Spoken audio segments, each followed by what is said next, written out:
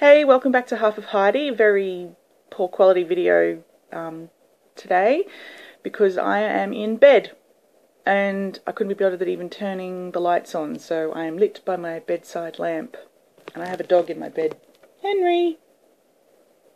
There he is. How you going, Hen? That's Henry. Um, yeah, really not feeling very well. I've had gastro for just just over three weeks now. Um, at least I think it's gastro, I don't know. Something that's causing me to go to the bathroom every hour. Um, really bad stomach cramps and everything that you can imagine that goes with that. Um, I'm going to go see my surgeon tomorrow to see if there's anything he can recommend that I do to help fix my problem because yeah I'm just feeling really really sick. Can't even bother getting out of bed now. I'm just um because I mean that's the bathroom there so I don't have far to go.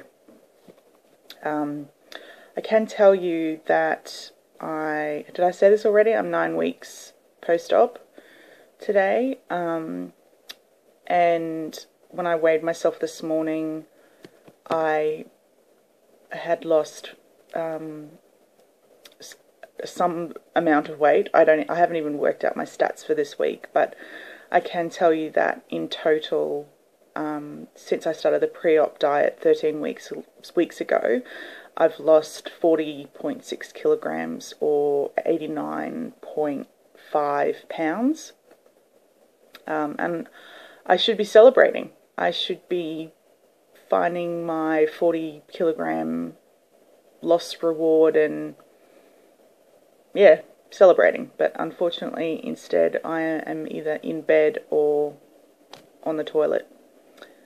Um, yeah, really short video just to say I'm not well, and I really hope that I get some